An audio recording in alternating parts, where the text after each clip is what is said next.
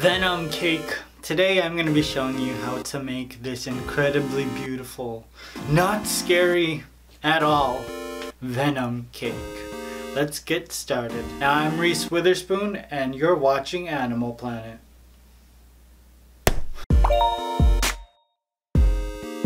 My intros are so boring, so we're just gonna mess around with them for a while. Now this video is a collab with Jonathan Pierce from EyeSea DoughNuts. He contacted me on Facebook and he was like, I know you're gonna make a Venom cake. I see you over there and I know it's coming. Cause you like that Marvel stuff, I know I see you. I'll leave a link to his stuff all at the end so that you can go watch it. Now to create this cake, I am using my Skull Cake Pan. I bought it at Marshall's. They really need to sponsor me because I use this skull mold a lot. Now I leveled off each of my cakes in the pan so that when I took them out they were completely flat. I just placed the bottom onto the cake board and added some buttercream into the middle of the cake. Then I placed on the front of the skull and voila, Simple, simple. I could sell a million cake pans if you sponsored me, and I would be happy to do so. I'm just gonna blend the buttercream into the side of the cake and then place it into the fridge for about 45 minutes. I put mine in the fridge for about four hours, I think. I was watching Netflix and I started watching the second season of Iron Fist. That's what it was. The first season, oh, it's, it's not great. Some people enjoyed it. Not this guy. I only started watching the first season because Silver, or the actress that plays Silver in 90210, um, is a character in this show and so I was like really excited to see her again. Comment below if you watched 90210 because not a lot of people did which is why they canceled it after five seasons. The reboot, not the OG one with Shannen Doherty. I took my cake out of the fridge and I started to shape my Venom mask. To create the mask, I'm actually filling in the eye sockets and the nose with some cake ball dough. I just took the excess cake, added some buttercream, mixed it around, mixed it around, turned it into like this dough. Bam! Filler. Everywhere filler. Using a paring knife, I actually did have to carve the cake because I had to carve out Venom's smile. It is like ear to ear, except he has no ears. So it's face to face. What is it? Side of the face to side of the face? Is that what we're calling it? I gave my entire cake a crumb coat of buttercream, then I placed it back in the fridge for about another two hours. It's like whenever I put it back into the fridge, I lose track of time completely. Now when the buttercream on the outside had solidified, I covered my entire cake with a very large piece of black fondant. Now the excess fondant on the bottom, I didn't cut it away. I used a sculpting tool and just pushed the fondant underneath the cake. I kind of realized that you could create a more organic line. Using some sculpting tools, I started to shape Venom's mouth and it actually created a rounded edge and I didn't like that so I cut away the black fondant on the inside of the mouth. I'm just adding a little bit of texture so that I know where each of his teeth are gonna be. Now Venom's mask in the movie isn't completely flat. From the comic books, I almost imagine to have like the texture of like a black dolphin. In the movie, it's more like tar, like wet tar. Instead of the mask being completely smooth, I used some sculpting tools to add some texture. Now Tom Hardy is the new Venom, so step aside Topher Grace, you did a terrible job. Tom Hardy is such, his range as an actor is like that. Megan Fox, Tom Hardy. Like it's crazy. All of the characters he's played are so different. It's almost detrimental to his acting because he's so like unrecognizable that you're like, is that even him? You don't, I don't even know anymore. Yeah, I created a template for his eyes and I just used a toothpick to outline where I wanted his eyes to be. To create the inside of his mouth, I'm using a very long piece of pink fondant and just pushing it into the inside with some sculpting tools.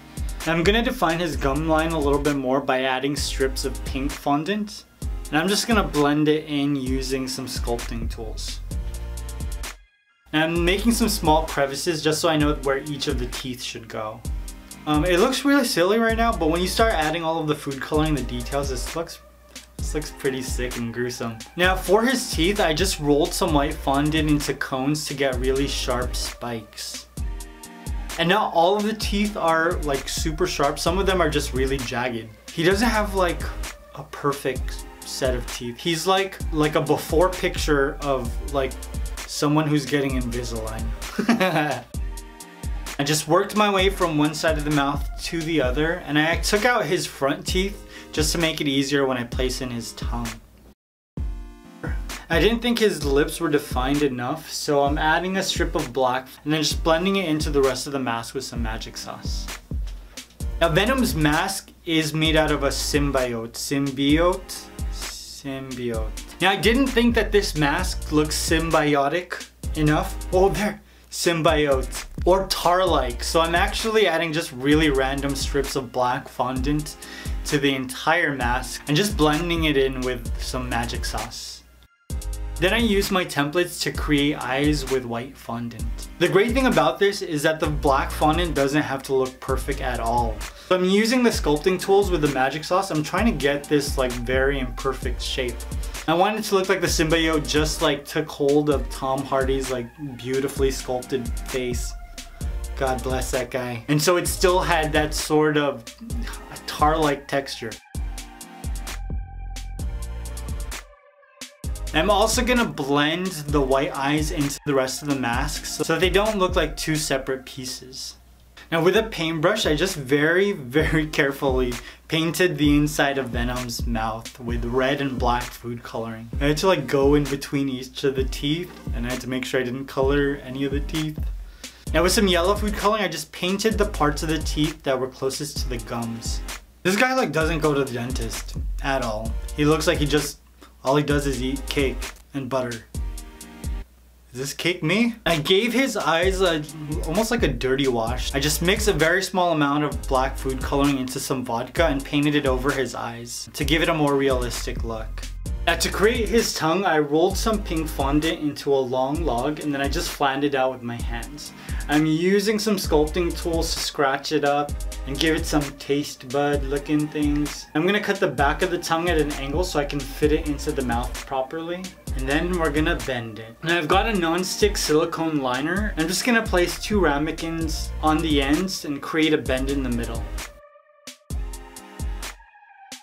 placed my tongue in the middle to give it a bend. And this is where there could have been a huge disaster and possibly a fire. So I didn't want to wait for it to get hard. So I placed it into the oven. And just like when I put things into the fridge, I forgot about it. And somehow it came out all right, but also I left my house for a good hour. so this was, this could have, no, uh-uh, don't do that. But luckily it was at like 100 degrees or a little less than 100. Gosh, oh my gosh, I don't know. No, I'm not professional at this. Whatever this is, this is not a professional sort of setting. Now I added on the front teeth and just made the tongue look slimy with a little bit of piping gel. And then I added some more yellow food coloring. Yeah, this guy's not like taking good care of his teeth. You know how you can tell when you're not taking care of your teeth? When they're a butter yellow. I'm just gonna sprinkle some edible black shimmer onto the cake so it looks more like the symbiote. And voila, our venom cake is complete. Looks sick, doesn't it? Oh, the teeth look so real. I'm very curious about what this movie is gonna be like because it's only associated with Marvel, it's not a part of the cinematic universe.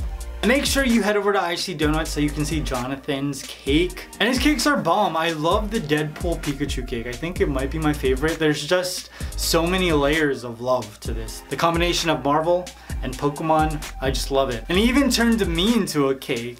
What? Look, see? Aren't I so handsome? But my DMs are always full.